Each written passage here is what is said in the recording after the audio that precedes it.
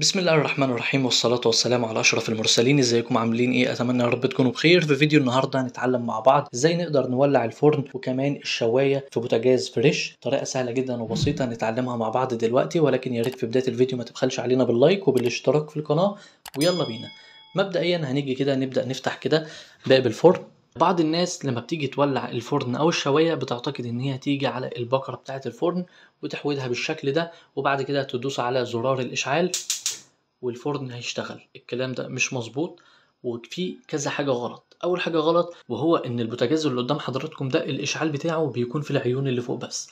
ولكن الإشعال مش شغال في الفرن من تحت ولا في الشعلة بتاعت الفرن ولا كمان في الشواية. طيب إزاي هنولع الفرن أو الشواية؟ بيكون عن طريق ولاعة. هو الإصدار ده من بوتاجازات فريش مش بيدعم الإشعال من تحت. في بعض الناس ممكن ياخد باله دلوقتي إن البكرة مفتوح الغاز بتاعها. هي دي النقطة التانية اللي هنتكلم فيها واللي الناس بتعتقدها اعتقاد خاطئ وهو إن طالما فاتحين البكرة بالشكل ده ودوسنا على الإشعال أو حتى لو ولعنا بولاعة المفروض كده الشواية تشتغل أو حتى الشعلة اللي تحت. ولكن دي النقطة التانية اللي هنتكلم فيها وهو إن كده مفيش غاز واصل خالص.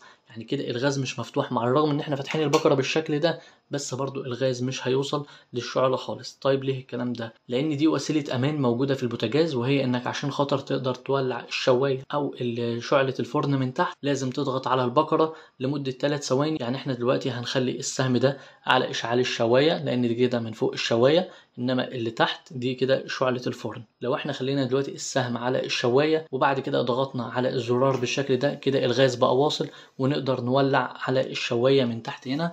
هنصدر الولاعة على الشواية من تحت وبعد كده نبدأ نولع على طول بالولاعة وهتشتغل معانا طول ما إحنا دايسين على الزرار. ولكن في حاجة مهمة مش معنى انك ولعت الشواية والولعة اشتغلت هتشيل صبعك من على الزرار على طول. لا لو عملت كده الشواية هتفصل الولعة بتاعتها تاني. طيب نعمل إيه؟ هتفضل ضاغط لمدة 3 ثواني على البكرة بتاعت الإشعال.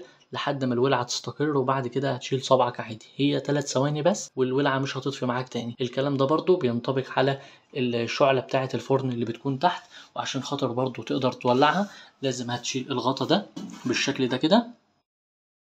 وبعد كده هتبدأ تولع بالولاعة في المنطقة دي أو ممكن تولع برضو عادي ولكن لازم تخلي الولعة توصل للشعلة. وبس كده بكده نكون وصلنا لنهاية الفيديو. أتمنى تكونوا استفدتم بفيديو النهاردة. ولو عندكم أي سؤال أو أي استفسار تقدروا تكتبوه في التعليقات وإن شاء الله هرد عليكم على طول. وأشوفكم على خير إن شاء الله بفيديو جديد. مع السلامة.